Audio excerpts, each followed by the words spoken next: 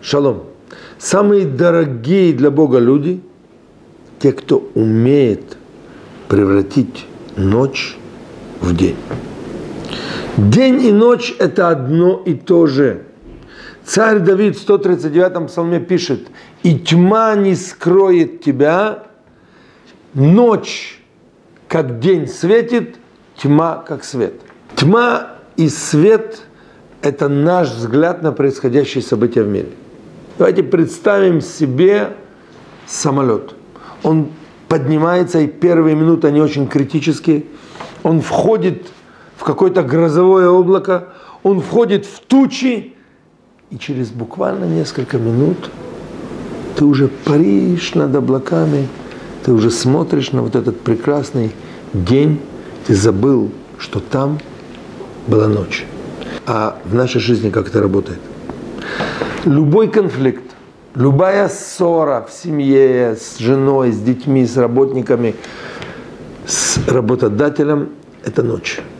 К лучшему это не приведет, это только введет нас в состояние постоянного адреналина. Многие говорят, что это хорошо. Пусть будет так. Но выйти с этой ситуации ты обязан, потому что жить постоянно в напряжении и в стрессе невозможно. Это приводит тебя к самым нехорошим результатам. Поэтому нужно просто попробовать. Представить себе, что ночь и день одно и то же. И вот в любом конфликте на каком-то моменте нужно просто замолчать. Привести ситуацию к какой-то перемене. Вы знаете, заменить.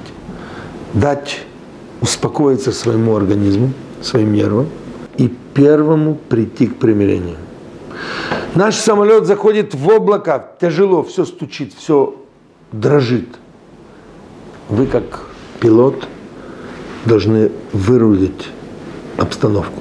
Представьте себе, что от вас зависит весь этот самолет. Сколько времени ты можешь не разговаривать с женой? Сколько времени ты можешь на работе постоянно находиться в стрессе? Немного. Плюнь на свое самолюбие. Плюнь на свое эго. Первым приди к примирению.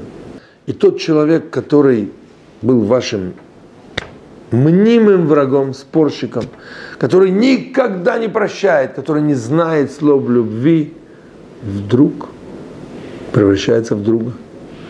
И понимая, что он должен был первый это сделать.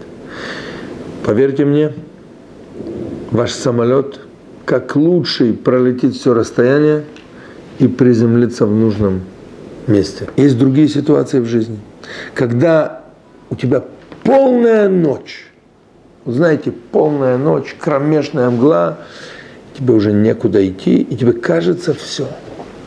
Это никогда не кончится. А тебе нужно идти вперед к свету, к дню. Поэтому, невзирая на мысли, знай, что в конце концов будет хорошо, потому что тьма не скроет тебя. Что значит тебя Всевышнего? Некоторые комментаторы говорят, тьма не скроет меня от тебя. Или тебя для меня. И так в любом ночном конфликте. Наденьте прибор ночного видения. Такой бинокль, который позволяет вам видеть всю цель, все пробегающее рядом. И вы увидите, что те, кто напротив вас, они даже больше, чем вы хотят мира, просто им не хватает смелости, разума и мудрости сделать это. Поэтому начните вы. И вы пробьете тьму и увидите свет. И так в жизни будет намного легче. Шалом, шалом.